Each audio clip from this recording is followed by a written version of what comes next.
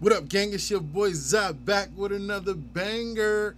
Hey, today I really want to get into genotype versus phenotype a little bit in depth so that we can give a good understanding and a strong foundation for more to come. Let's get right into it. Get it! Like, comment, share, subscribe, you hear me? Yeah, you know it. Turn up the leaf blower and the lawnmower. brother Should've been a hippie, should've been a shower. Red with no dread, black cop, who ya? Another thing, don't forget to join the Discord. All right, gang. So, genotype refers to a set of genes that an organism can pass on to its offspring.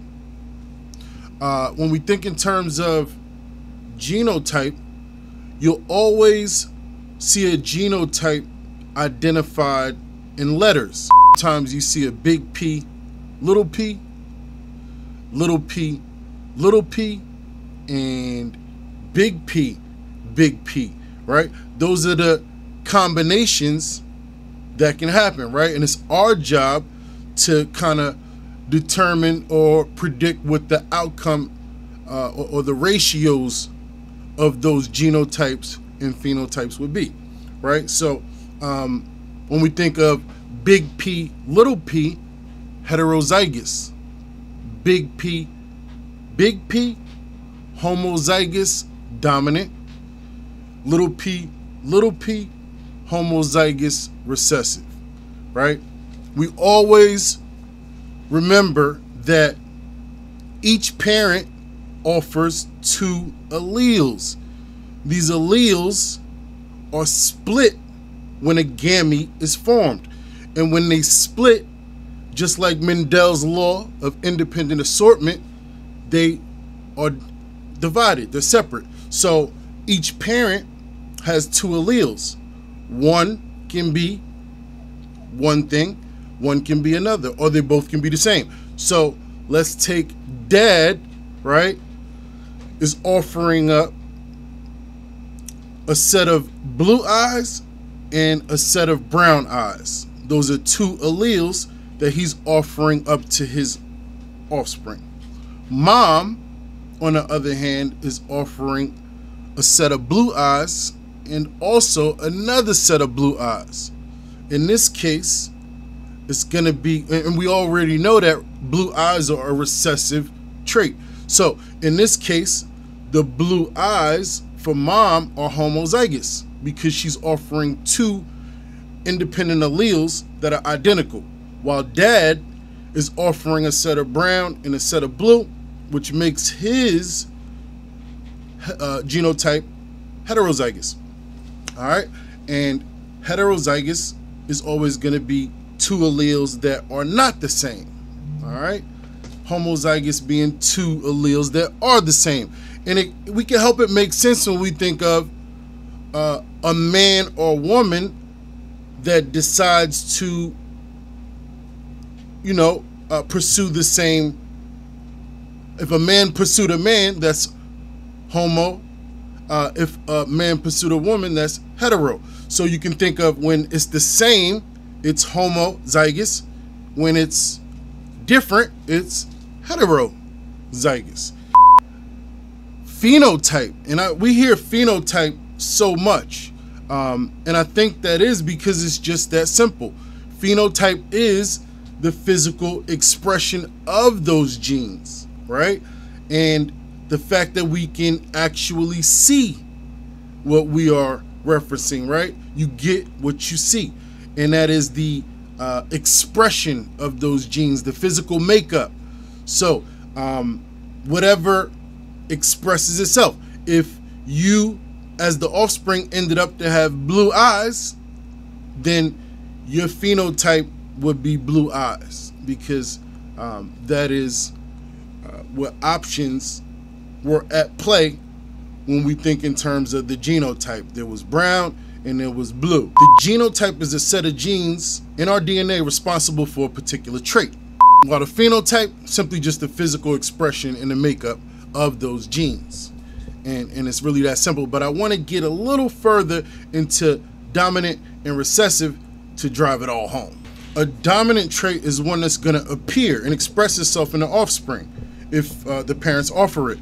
And a dominant trait is always represented by a capital letter. This is why the Punnett square is so important. And I saw somebody in one of the previous videos try to downplay Punnett square. Oh, you still use a Punnett square because I'm a professional. And don't get it twisted. Um, a simple monohybrid cross, yeah, a four Punnett square, but a recessive trait is one that's actually hidden. Recessive traits are hidden and they're masked. They're covered up by dominant traits. So whenever you have a dominant and a recessive allele together, the dominant will always express itself.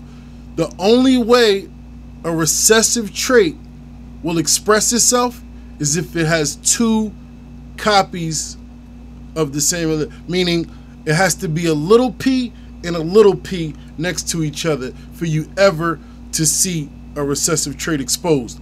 Other than that, you will have a big P, big P, which is dominant homozygous, little p, big P, which is heterozygous, and then little p, little p, which will express itself that recessive trait.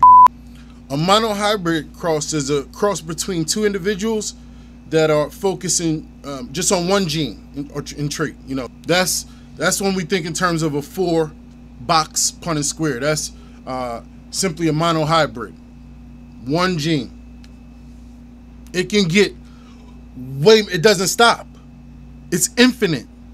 So um, the next level would be a dihybrid 16 box. Okay, so you can um, look at multiple genes and traits at once. Okay, and it goes up, up, up, up. It, it doesn't stop. So hundreds and hundreds of boxes if you need to look at hundreds of traits at once because you're so that you're, just that advanced. it's available to you. I guess you didn't know that though. So you you were just trying to downplay the small four box Punnett square, but that is just a monohybrid. A dihybrid cross is uh, a, a, cross that focuses on two genes uh, or more. All right, gang, make sure you visit ZazaGenetics.com, man. We got some coupon codes that's still lit. Um, if you want some fire gear, uh, shout out to my brother Pigeons. Y'all make sure y'all go check out Pigeons video, man, on the top genetics list for the summer, man. Um, we gracefully made that list. I'm truly humble. It was some a prestigious list uh, by a true connoisseur. So thank you, my brother. I appreciate you and everything that CLTV does. Y'all make sure y'all visit acinfinity.com the best equipment in the land, man, hands down. And use code Team Zaza for a discount at checkout. Make sure you like, comment, and subscribe, man. We are a newer channel, and um, if you're a recurring viewer but haven't subscribed, make sure you subscribe. It really helps out, man, and that's all we really ask for. You can also um, join the team through the subscription YouTube subscription Team Zaza list. So uh, other than that, catch me in the Discord. I'm usually pulling up by 9 p.m. So uh, we're looking for some new, fresh minds in Team Zaza so we can um, implant some more uh, real breeders in this community, man. Much love to y'all. I appreciate all the support. I appreciate all the comments. Let me know what you want to see next in the comments. We got some interviews coming up. Um, in the next couple weeks. So stay tuned for those. And um, other than that, I'll catch y'all on the next banger. I'm out.